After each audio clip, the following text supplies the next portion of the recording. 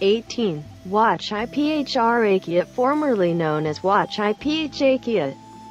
Built in year 1545 as the royal monastery of Chiang Mai in those days. Created by Phra Mahashivawi Jiraprapa to be a monument dedicated to the king of Ayutthaya and to be an enshrined Buddha Mengrai. It was built by Freya Yalban the steward Buring Nong by collecting the gold from the broken Buddha from the war to cast a large bronze Buddha to commemorate the Princess Visumaha Dhevi, the last king of the Meng Rai Lanna Kingdom, which has been the city of Burma since then. The believer who worshipped worship will preserve the victory in all.